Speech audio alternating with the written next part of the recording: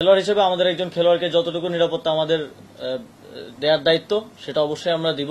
BCB এ বিষয়ে হয়তো একটা বক্তব্য দিয়েছে এবং রাষ্ট্রের জায়গা থেকে রাষ্ট্র প্রত্যেক নাগরিককেই নিরাপত্তা দিতে বাধ্য এবং সেটা আমরা তো অবশ্যই করব।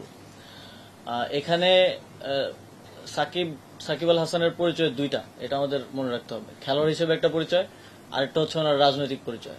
উনি আওয়ামী লীগের প্যানেল থেকে একজন এমপি ইলেকশন করেছিলেন। তো মানুষের মধ্যে তো এই দুইটা নিয়েই মিশ্র প্রতিক্রিয়া আছে।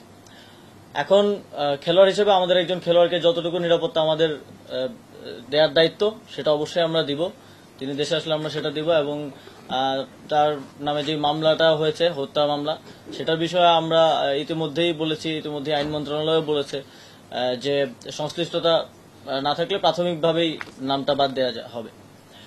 কিন্তু ওনার রাজনৈতিক পরিচয়ের কারণে জনগণের মধ্যে যদি ক্ষোভ থাকে তাহলে মনে করেন আমার নিরাপত্তার জন্য কয়জন? পাঁচজন পুলিশ কনস্টেবল থাকে আর একজন গানম্যান থাকে। আমার উপরে যদি দেশের ষোলো কোটি জনগণের লেটসে দশ কোটি জনগণের যদি ক্ষোভ থাকে তাহলে এই পাঁচ ছজন আমাকে কি নিরাপত্তা দিবে? আমারও তো সেক্ষেত্রে নিরাপত্তার সুযোগ নেই। ডায়রিয়া সহ যে কোনো পানি শূন্যতায় এসএমসি রোড স্যালাইন কেনার সময় প্যাকের গায়ে এস এসএমসি লোগো দেখে কিনবেন। তো সেক্ষেত্রে জনগণের যদি কোথাও ক্ষোভ থাকে সেটাকে তো আমাকেই রিডিউস করতে হবে আমার কথা দিয়ে।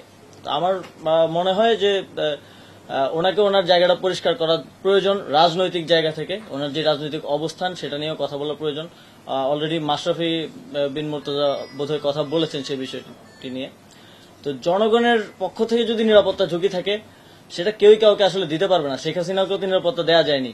তাকে দেশ ছেড়ে পালাতে হয়েছে।